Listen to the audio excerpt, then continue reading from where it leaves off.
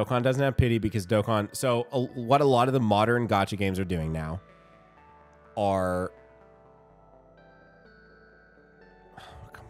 We're really just not getting it, man. It just doesn't exist. It's not real.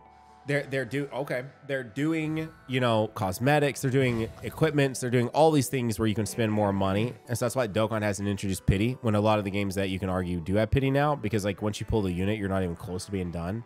And I get that, but Dokkan is still so expensive, man. Like Especially with that 50% increase. it's it's still. Ooh, I can use that. I can use that. That's my second dupe. Do you think I can use that two year old unit right there? No, oh my god, dude. What is Miss Multi? I've gotten three featured units now. I talked And about somehow you didn't get a single copy of the new one. did not have to say that. did not have to rub that part in. Really, you didn't. Oh.